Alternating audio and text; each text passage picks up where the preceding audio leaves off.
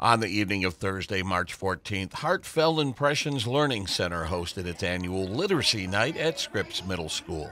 Families were invited to take part in numerous activities set up throughout the cafeteria, with sponsors and local libraries taking part as well. These activities behind me are all of our classrooms at Heartfelt. So we have about 30 activities because we have about 30 classrooms. And then we also have some sponsors as well. So there's about five sponsors, and then each of the libraries in our community are here putting on a, a table as well. Founded in 2011, Heartfelt Impressions has three locations in Lake Orion, Clarkston, and Rochester. They offer educational programs for young children and host events like this one, which was free to the public. Yeah, so they start by coming on in, and we have some bags for them. In their bags, they've got some flyers about some things in our community. All of our sponsors get to put stuff in our bags as well.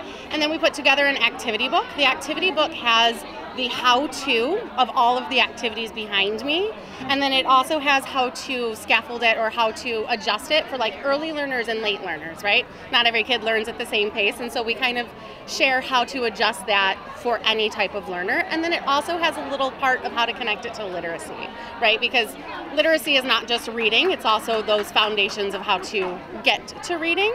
So all of these activities are based on literacy, but they're all like gross motor, creative arts, fine motor, those sorts of things.